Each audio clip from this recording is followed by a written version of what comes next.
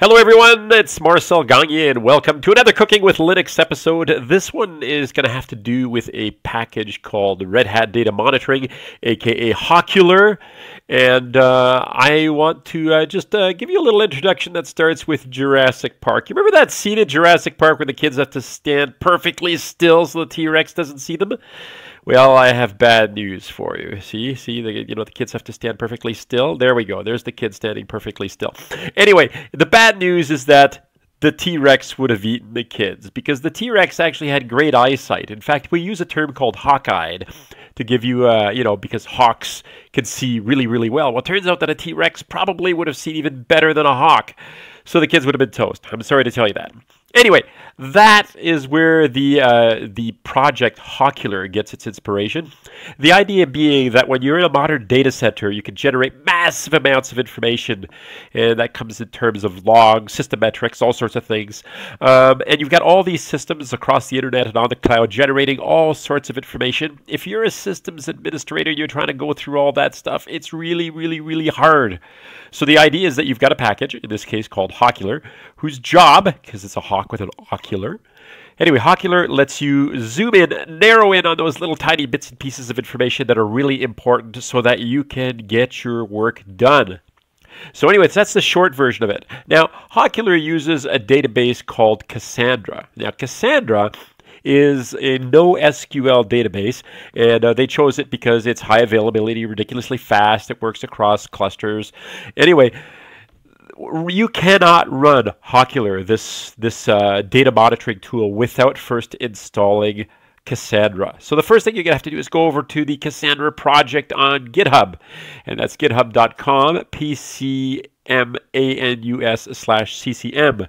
You can also go directly to the Cassandra website, which is cassandra.apache.org, because Cassandra is an Apache project. So let's just clone or download this thing. We're going to download the zip, the latest Cassandra stuff, and we are going to do no, just save it. We're going to save it in this case. The other thing we're going to do is we're going to go over to Hawkular. Now, on Hawkular, you can follow to the GitHub page there as well and download the latest Hawkular services. And I'm going to do that as well over here. So there we go, Hawkular services. And yes, I do want to save that file. So we're going to save that, download it, and uh, just before we actually go into it, and you're sitting there going, why do I want to do this? Well, you're going to do it so that you can get a really nice, clear picture of what's happening on your system, because Hawkular lets you set up all these wonderful little metrics like graphical things and gauges and, you know, and alerts, and the sort of alerts we're talking about are things where you can send an email out to a group of people, or if something is really, really, really urgent, you can even fire out an SMS to somebody's mobile device who happens to be on call.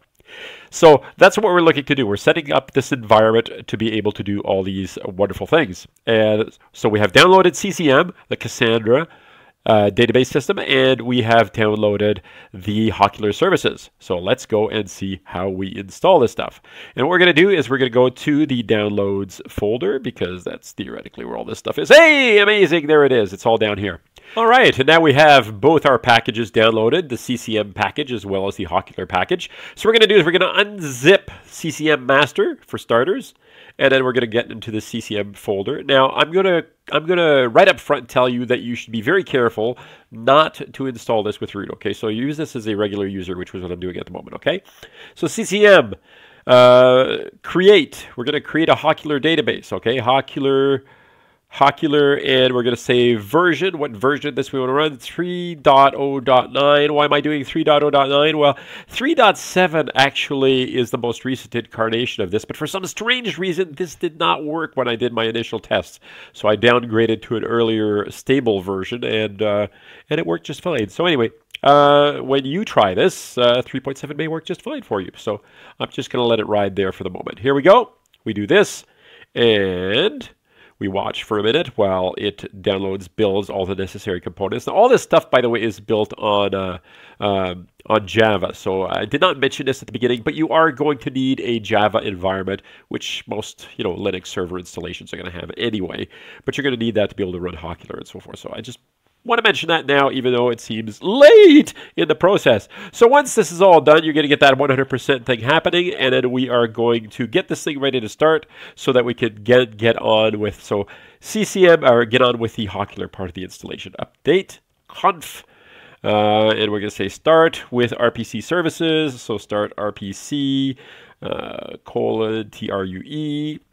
And there we go. And then we go dot slash CCM, whoops, CM start. And, well, we're not expecting the number of processors to increase at the moment. So we're going to leave this the way that it is and continue on with the rest of the operation. So cd dot dot. And now we're going to extract the other part of the system, which is the Hawkular install. So tar dash xzvf Hawkular and all right, now that we've got Hawkular services extracted, let's take a look in the folder. And there's the bin folder. I'm just going to go bin slash standalone. And the reason I'm doing that uh, is to fire it up all by itself. And there are a few things that we need to do beyond this, but I just want to show you what happens at this point. So the whole environment starts up, JBoss Bootstrap environment, lots and lots of messages are going to go flying down the screen here. And of course, there are all sorts of things that haven't been yet configured, but we'll get to that in a moment. So just want to show you all the various things starting up.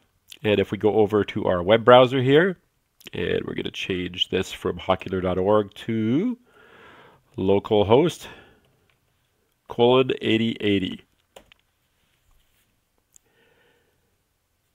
And if we've done everything right, we should see the Welcome to Hawkular screen. And you'll notice that down here, all our services are listed. Hawkular services, Hawkular metrics, Hawkular alerts, Hawkular inventory uh, are all just unavailable or starting at this moment. So we will wait while all these things happen. Now we have Hawkular services running, and now we have Hawkular inventory running. And you'll notice that metrics and alert are not available at this moment. So let's jump out and continue with this. And the first thing we're going to do is I'm just going to stop this before we continue. All right, now as you saw, with the status indicators show that only two things are working. So we only have a partially working system. You're going to need to create one or more user to access the Hawkular services. And there's a shell script in the bin folder to be able to do that. And if you go bin add, whoops, vid, ha, bin add user, sh and we're going to say dash a dash u and dash u is the username and uh, let's see uh, we're going to just call this one we're going to make it simple my user and dash p for the password and we're just going to call whoops we're going to call this one my pass now obviously you're going to want to use something different than that dash g read and we're going to make this read write uh, and read only uh, read only. Now, different users are going to have different permissions, but this is what we're setting up at the moment. All right. So there we go. We've set up one user. We are ready to go. Now on the web interface, if we go back to the web interface, and that means that obviously we need to restart Hawkular. Hawkular services are running. Hawkular inventory is running. And now we're going to go over here and see there says Wildfly Agent Installer. That is the agent that you see up there, the uh, Hawkular agent. So we are going to click Wildfly, and eh, this is the username and password that you just created, all right? So my user, my pass. Okay. And now it wants you to download and save this thing. So yes, we're going to download and save this thing. So click Save File. Now, the file that you just downloaded is actually in the uh, in the standalone, so SLS standalone. I'm going to show you where that is sitting. Configuration folder. You see it there, Hawkular Wildfly Agent Installer jar. So Java dash jar standalone configuration Hawkular. Whoops, Hawkular Wildfly Agent Installer dot jar dash dash username and guess what that is? That is the username that you created, my user, dash dash password. And that is the password that you created for that user, my pass, dash dash server dash URL. And of course, we're running on localhost here. So HTTP colon slash slash localhost colon 8080. All right, here we go. Let the magic happen. And that's it. It is installed right there. So, all right. So now we've got uh, we've we're back at the start. We are going to just check on a couple of things. We're going to go over to CCM and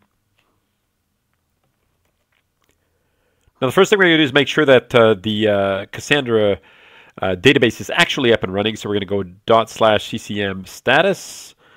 And uh, there it is, Hawkular one node, and it is up and running. So let's go back to Hawkular services, and I'm going to cheat here because this is a long thing to type out, but I'm just going to I'm just going to go back to where I've got it sitting in my history here. Bin standalone.sh, a little bit different than before because I am now passing all the authentication information, and I'm telling it that the uh, agent is now enabled uh, because theoretically everything is installed. So we're going to find out if this works or not, all right? All right, so basically we're passing a Hawkular.rest.user, uh, which is the user who created, the password, my pass. Obviously you're going to come up with something more intelligent than my user and my pass. And away we go. Let's let this magic happen. And uh, lots of Java messages and things are going to go flying past our screen here. And I'm just going to switch over to the... Um, to the Firefox Hawkular page here, and we're going to wait and see as things start. Now, I'm not really very patient, so I'm going to hit the uh, I'm going to hit the reload button on the current page. It will actually, you know, check on its own here. But there we go, Hawkular services, unavailable or starting. Well, you know what? It is actually starting, as we can see in the background there. Lots and lots of things starting in the background.